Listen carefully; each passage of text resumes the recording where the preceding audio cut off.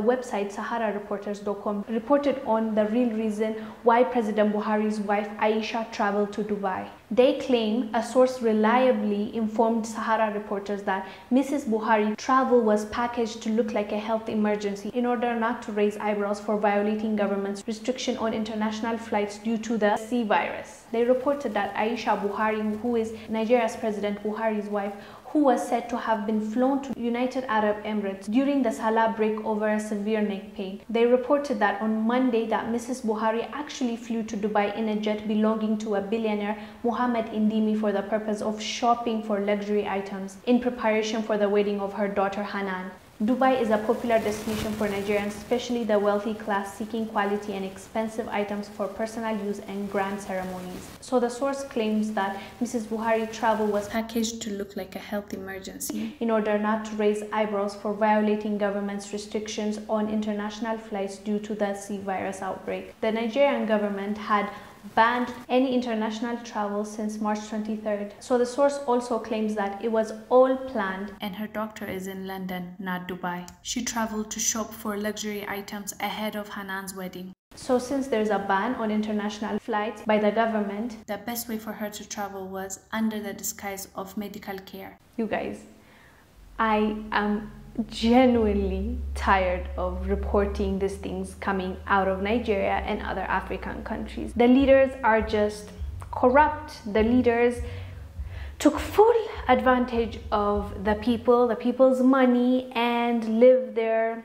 life as they please. And to be honest, I don't see any change coming anytime soon if these people are going to continue being in the leadership role. We're just going to keep shouting, screaming, complaining. There will be no change. But think about this because there was an international travel ban. Um, they decided to come up with something that is health issues.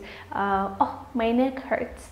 And she goes, um, and it turns out the source claims that she went to shop for her daughter's wedding. And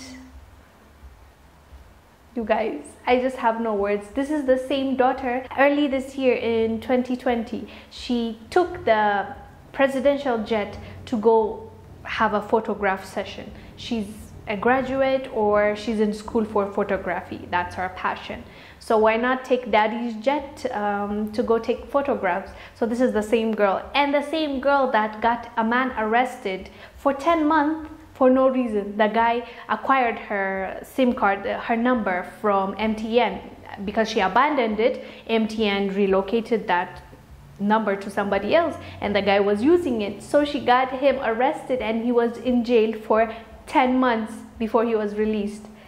Imagine so this these are the family that are uh, running Nigeria basically. But I'm sure they see nothing wrong with that because even when she went to the daughter Hanan went uh, for photography session when people were going crazy on Twitter and saying why in the world would she travel with a private jet um, with the presidential jet? That's our money. What they came out and said was um, this is this is normal. We we do this this this is not out of the ordinary. So basically deal with it so if they see no problem with that i don't think they'll see any problem with the mother traveling to dubai for shopping for her daughter even if there is a travel ban even if there's a virus and even if she's lying when she's going basically because she said her neck hurts even though her doctors are in london which in the first place I have an issue with. Their doctors, their specialists, you know, are abroad. Their kids go to school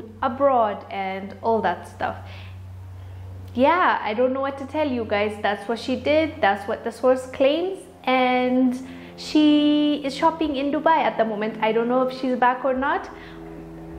I hope she found what she was looking for, unless and otherwise, um, the leadership is removed, I don't think Nigeria will see a better future. I'll be honest, because the corruption is it's getting extreme. Maybe it's because we're hearing about it now more than before. You know, now with the social media we got we get information real quickly and with if you remember i reported about the anti-corruption guy himself relooting the looted funds that his his organization uh, saved from corruption. And then he took it again himself and he's he's in prison right now. I think he's waiting for court date. And with all the corruption coming out just this month we reported about the nigerian official who fainted when he was being asked where the funds went and the, the money that was allocated to uh, for the virus gone. The money for the roads gone. The money for the hospitals gone.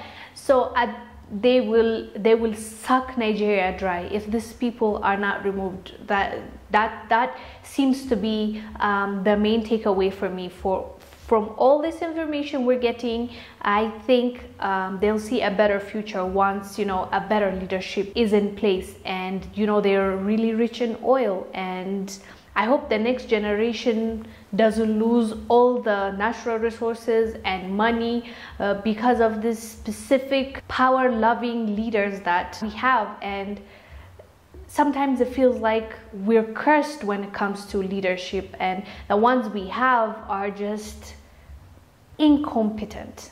That's the word for it. They're just incompetent. And add that with greed, incompetence with greed it's a disaster.